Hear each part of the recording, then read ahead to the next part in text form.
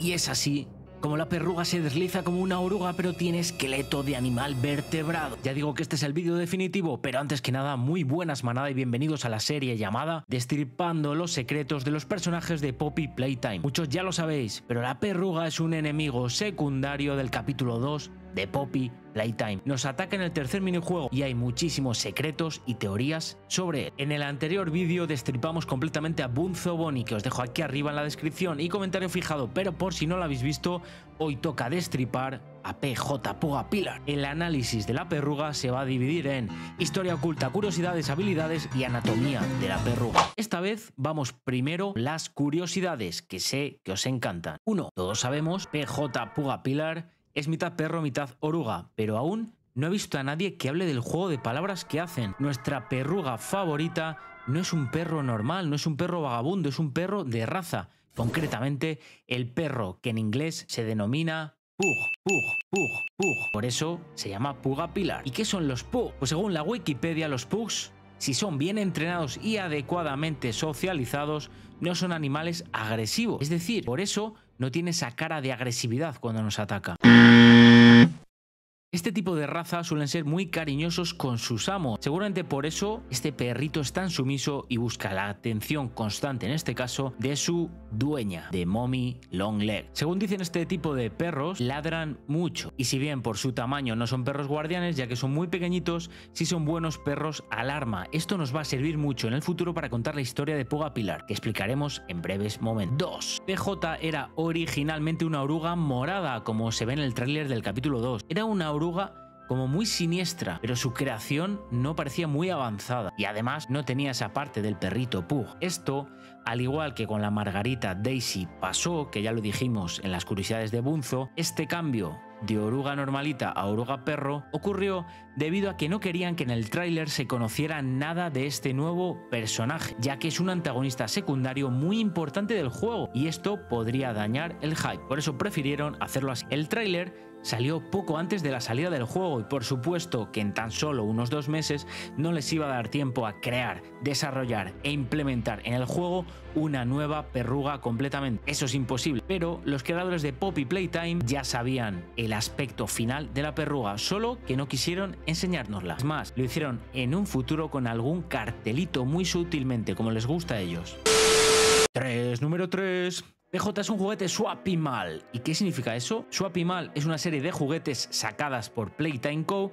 que como el propio nombre indica, mezcla dos animales diferentes. ¿Y cuál es el otro juguete que mezcla dos animales? Pues si eres muy fan y ves mis vídeos, sabrás que se trata de Catbee, el gato abeja. Gato abeja, perruga, Ahora todo cuadra, ya sabéis, modelo swap y mal. 4. ¿En qué año salió al mercado la perruga? Pues no nos han dicho la fecha exacta, pero haciendo cuentas, si esta perruga en el capítulo 1 no aparecía, debe de haber sido creada rondando el año 1992 en adelante ya que hemos visto a Boogiebot en todos los capítulos y este es del año 1993. 5. El juguete de la perruga es increíblemente infinito, ya que le puedes añadir sin fin partes a su cuerpo, haciéndole completamente enorme. Incluso le podrías poner dos cabezas, uno a cada lado. 6. Entonces, PJ está muerto o está vivo después del capítulo 2. Estoy harto, sinceramente, de los vídeos fake que no dicen que son fake. A ver, estos vídeos que se hicieron sobre Bunzi y sobre la perruga no son canónicos, son mods de entretenimiento que modificaron el juego y por lo tanto no son canónicos, no son reales. Nunca vimos el final de PJ. Lo único que sabemos es que sí llega al final de los escombros y le perdemos de vista, ya no le vemos más. Lo único cierto y que os aseguro es que los creadores no quieren enseñarnos que Momi ha matado a PJ, por lo tanto no la ha matado. Además, en el caso de Bunzo y de Haggis, hay un archivo de audio diciendo que sí les mataron, pero es que aquí no hay nada, no se muestra el asesinato, se ve a PJ huyendo. Así que está oficialmente vivo en masculino y no viva. Sí, es un hombre, luego os confirmo por qué. ¿Y por qué sigue vivo? Si como vemos, Mommy tiene mucha mala leche y mató a Bunzo cuando no asesinó a Player y mató a los Haggis cuando no asesinó a Player. Pues a ver, en este caso realmente hemos sido nosotros quien hemos hecho trampa. No ha sido culpa de la perruga. Nosotros hemos salido por la ventana, hemos roto el cristal y nos hemos ido fuera del juego haciendo trampa. Mommy se ha cabreado tanto que se ha centrado en nosotros. Normal, estaba rabiosa porque hemos hecho trampa. Así que esa es mi teoría por la que Mommy no ha matado a la perrúa. 7. Sus zapatos son muy parecidos a los del típico bufón de la Edad Media ya que son curvos y delgados al final. Además, en las imágenes podemos observar dos perrugas diferentes, es decir, en una sus babuchas son de color azul y morado, pero en el juego son únicamente de un color, del morado. Es decir, en el cartel azul y morado, en el juego solo morado. Esto reafirma mi teoría que os cuento más adelante sobre la historia de la perruga y os explico el tipo de personalidad lameculos que tenía esta perruga ante los jefes. PJ puga pillar. 8. La voz de PJ tiene muy marcadas las Vs, las Rs y las Ps. Tiene un estilo muy peculiar hablando y parece ser que la perruga está inspirada en Scooby-Doo. ¿Os acordáis? El perrito de los dibujos animados. Vamos a oír los audios de la perruga y vamos a oír después los audios del actor original de Scooby-Doo. Veréis cómo tiene un parecido. Do you want to play with PJ? caterpillar or bug? I'm crawling on all four hundreds. Hmm, I'm hungry for some delicious bones. Do you have some bones for PJ? Brown, brown.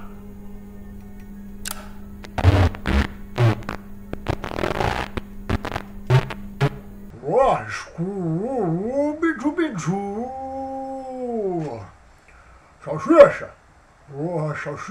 9. El nombre no oficial de PJ es Gusano. Sí, así se llamaba en algunos archivos. Y probablemente esto lo hicieron los creadores, un marcador de posición para no revelar a PJ demasiado pronto, ya que los fans están como locos por descubrir nuevos secretos y los miembros de Poppy Playtime son expertos en esconder estas curiosidades. 11. El Jump Scare de PJ Pilar es el único de todos los juguetes, tanto en el Chapter 1 como en el 2, que en ciertos frames desaparece y aparece la cabeza. Se desconoce la causa de esto, pero se teoriza que puede ser debido a un fallo de los desarrolladores del juego. 12. Otro fallo que no sé si os habéis dado cuenta, dice que la perruga es morada y azul. Cuando nos hace el Jump Scare se convierte entera en azul. Todo su cuerpo azul completo. Solo la cabeza sigue siendo azul y morada. PJ puga pillar. 14. Para mí, el peor jump scare es el de la perruga. ¿Por qué? Es el único juguete que no cambia la cara. El jump scare. Todos los demás sacan sus afilados dientes, les cambia la cara, pero la perruga no. Fijaos la diferencia que tiene. A ver, entiendo que es un perro. Es un perro. Es tu mejor amigo. Y parece que te está recibiendo feliz al llegar a casa más que te está asesinando. No tiene ningún sentido. Y eso, que la perruga, con la ambientación, con la música y el tipo de juego, es bestial la tensión con lo que lo juegas. Pero el jump scare, no. Parece que te está lamiendo las pe... 16. ¿Cómo es el cartel de la perruga? A ver, su cartel oficial es este. Y dice, hambre de aprender. Pero es que abajo en pequeñito lo que importa, explican, Playtime Co. alberga un programa de educación de última generación para todos los niños huérfanos afiliados a Co. Pero también hay otro cartel oficial en el que la perruga está muy amigable con Daisy y la Margarita. Se están dando un abrazo muy amoroso. Pero error. A pesar de que en grande está escrito algo así como siempre junto con un brote, se refiere al brote de la flor de Daisy con Puga Pilar, en pequeñito, como siempre, pone lo que realmente piensan. En este caso dice, la fraternización excesiva de los empleados es mencionada con desprecio. Todas las relaciones en el lugar de trabajo deben ser divulgadas a recursos humanos. No les gustan que haya relaciones y ¿por qué no quieren que haya relaciones? Normal. No quieren que haya habladurías, no quieren que haya colegueo, no quieren que haya ninguna cercanía para que hablen entre ellos y se hagan amigos. La verdad que es terrible. No poder hacerte ni amigo de tu compañero de trabajo. Vamos a oír esta vez de nuevo los sonidos, pero vamos a analizarlo. Do you want to play with PJ? El primero que dice quieres jugar con PJ, claramente, como hemos dicho antes, es un perrito, se comporta como un perro y tiene personalidad de perro. ¿Qué hacen los perros? Jugar. Este perro igual hace algo, comerte y esas cosas, pero bueno. Pero la traducción correcta es oruga o perro. Claro, pug es un tipo de perro, por eso dice eso. Y como la perruga es mitad oruga, mitad perro, pues te dice que cuál prefieres, si la oruga o perro. I'm crawling on all 400s. Esto que dice que se arrastra a 400 segundos seguramente sea la velocidad con la que la perruga anda. I'm hungry for some delicious bones. Tengo hambre de unos deliciosos huesos. Si estamos hablando de la perruga normal, habla de huesos de animales, de huesos normales y corrientes que un perro se comería, pero si hablamos de los huesos un poco más siniestros, estaríamos hablando de huesos humanos. Podría ser. Aquí en Poppy Playtime siempre hay una doble intención en muchas cosas.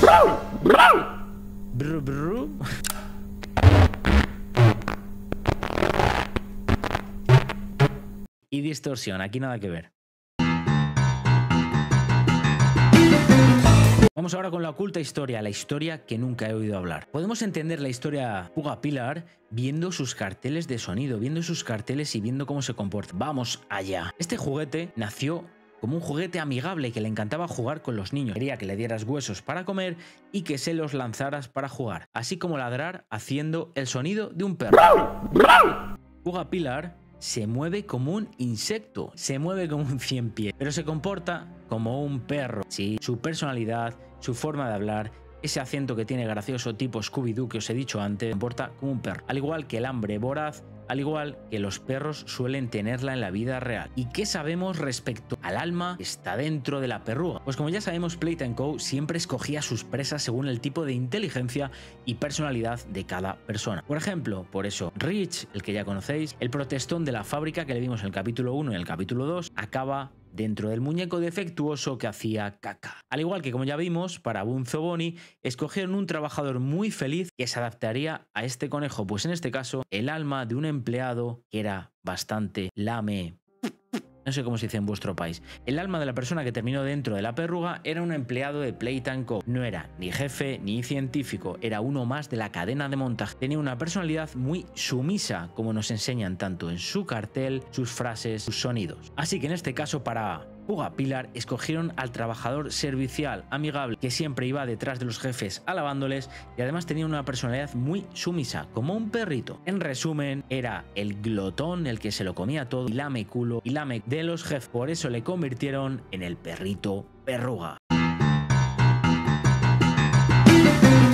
Vamos ahora con anatomía y habilidades. Ya lo hemos dicho también, la perruga es un juguete Swapimal producido por Playtime Co. ¿Qué significa Swapimal? En la historia os lo dije. PJ debutó en el capítulo 2 de Poppy Playtime y antes de este capítulo 2 no sabíamos nada de él. Por lo que los siguientes capítulos van a traer muchos más juguetes. La perruga reside en el juego de las estatuas como su principal enemigo. El jugador debe jugar un juego de luz roja Luz Verde, que se hizo muy famoso por el juego del calamar. Aquí en España anteriormente yo creo que se podría llamar 1, 2, 3 zapatito inglés y mover los pies. ¿Cómo se llama en vuestro país? Dejármelo en los comentarios. Como ya decíamos, intentaba llegar al final y no ser atrapado. Pero nuestro amigo Player hizo trampas. Saltó por la ventana y adiós. Pero, ¿qué parte se comporta como una oruga y qué parte se comporta como un perro? La perruga se desliza como una oruga. Tiene un esqueleto de animal vertebrado. Nunca tenemos que olvidar que es un vertebrado con huesos. Tiene huesos como un pug. Y además, toda su columna está llena de huesos. Su personalidad también es como la de un perro, muy efusivo e impaciente. No es nada frío como un insecto. Tiene un poco de frialdad como un insecto, pero el poder del pug está mucho más por encima que el del insecto, el de la oruga. Se mezclan en su cuerpo los colores azul y morado. Además parece muy achuchable. Parece una nube muy esponjosa. Sus ojos no cambian de color, son unas grandes pupilas negras penetrantes. Cuando te miran, el tiempo se para. Además, no le cambian las pupilas, no le cambian los ojos, siempre está igual. Tiene un hocico de color rosita, nariz azul en forma de corazón muy adorable y unas orejas también muy esponjosas que parecen nube de algodón. Tiene un montón de piernas rosadas y también un montón de zapatos puntiagudos tipo babuchas de oriente. En el juego, únicamente morado y en los dibujos azul y morado. Su lengua es rosada y está constantemente colgando de su boca. Se trata del primer juguete en el que vemos su lengua por fuera de su boca. Sí, hemos visto a Candy Cat, lo sé,